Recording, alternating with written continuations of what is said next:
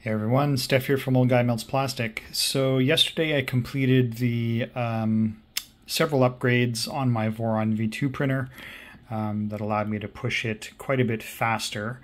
Um, so I'm recording a follow-up video to kind of compare the output that I got at those speeds uh, with other prints that I'd done previously. So uh, you might recall if you're a subscriber or have watched a few of my videos before, um, I recorded a video the other the other uh, last week, I believe it was, about a week ago, maybe a little more, where I had uh, I was comparing two cubes, and those are the two that you see here. Um, I lie. The two on the left are the two cubes that I was comparing before, and the one on the right here is the one that I printed last night at the faster speeds. So I just want to kind of look at the print quality of each of these and, um, you know, kind of demonstrate what happened um, and we'll talk about it. Right, so uh, this cube was printed at um, stock Andrew Ellis PrusaSlicer speeds, SuperSlicer speeds.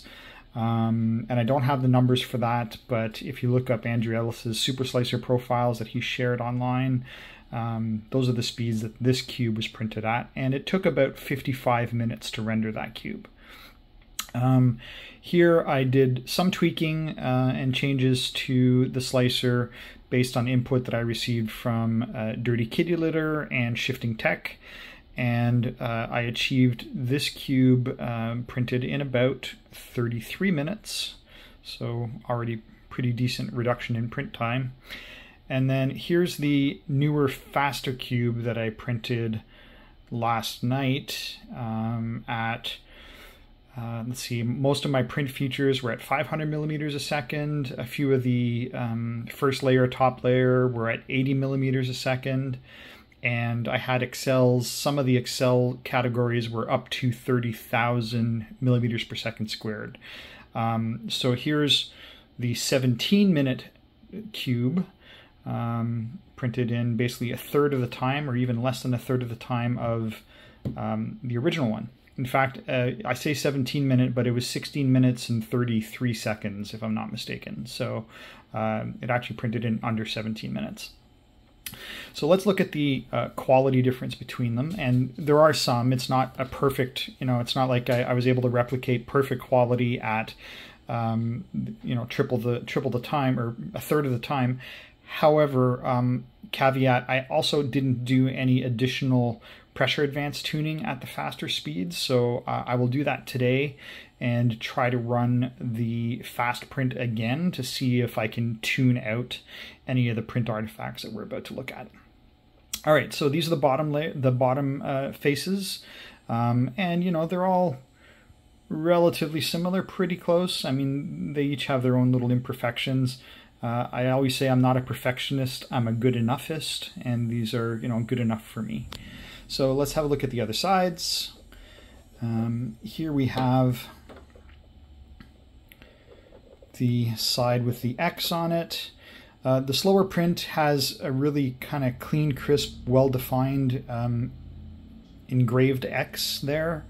Um, and we see that there's some um, you know blobs in the middle print and and more so in the other print also the X becomes a little more uh, amorphous and and uh, not as well defined the faster you go. Again, some of that might be tunable um, with some additional print tuning, which I have not yet done.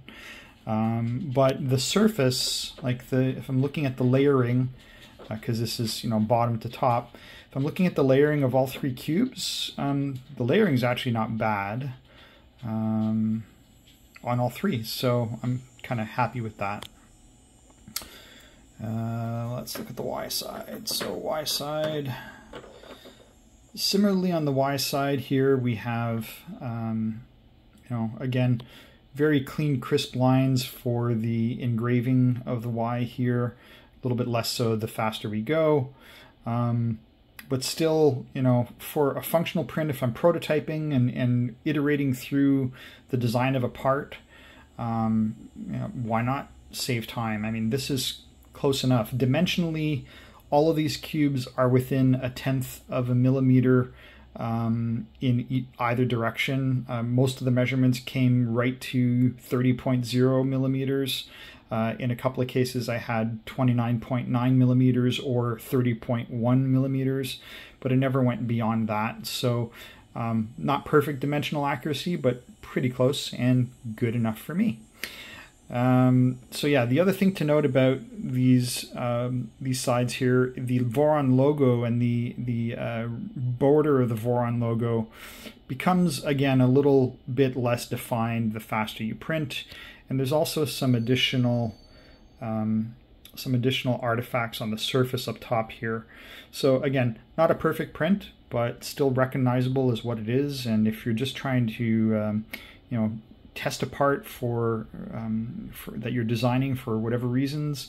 Um, maybe printing it in a lesser quality at faster speed is is good for you.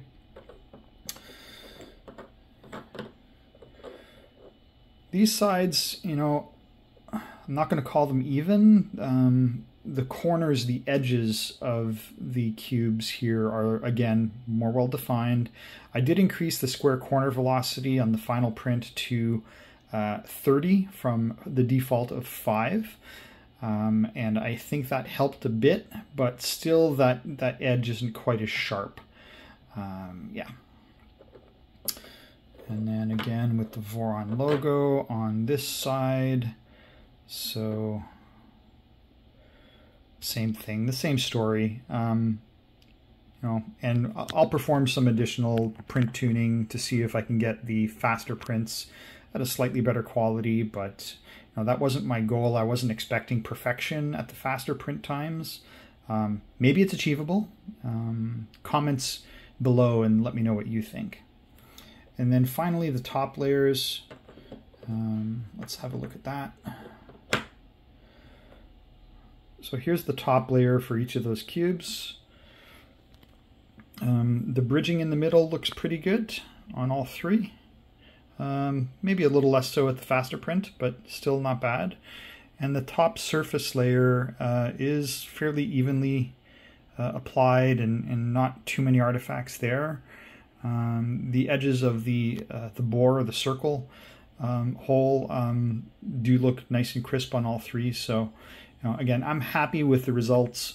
Um, maybe a bit of extra tuning can help with that. Maybe I need to scale back my speeds a little bit for my quality prints that I want at the you know best sharpest detail.